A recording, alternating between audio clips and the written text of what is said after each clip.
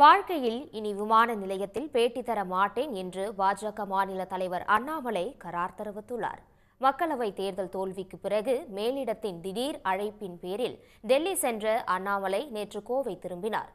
விமான நிலையத்தில் அவரது பேட்டிக்காக ஏராளமான பத்திரிகையாளர்கள் காத்திருந்தனர். ஆனால் புது திருப்பமாக செய்தியாளர் சந்திப்பை தவிர்த்தார். தொடர்ந்து வற்புறுத்தியவர்களிடம் கட்சி அலுவலகத்தில் பேட்டி கொடுப்போம் விமான நிலையத்தில் வேண்டாம் என்று சற்று காட்டமாக காரில் இருந்தவாறே பதிலளித்துவிட்டு புறப்பட்டு சென்றார். எல்லாம் எல்லாம் உங்களுக்கு டுவெண்ட்டி ஃபோர் ஹவர்ஸ் முன்னாடி ப்ராப்பராக நீங்கள் ஏன்னா நான் நம்ம ஃப்ளைட்லேருந்து இறங்குறோம். ஏதோ ரெண்டு விஷயம் நடந்திருக்கு நம்ம இங்கே வரும்போது தெரியுது இல்லை அதுக்கு வந்து நிறைய பண்ண இப்போ இன்னைக்கு நாளைக்கு. பையன்.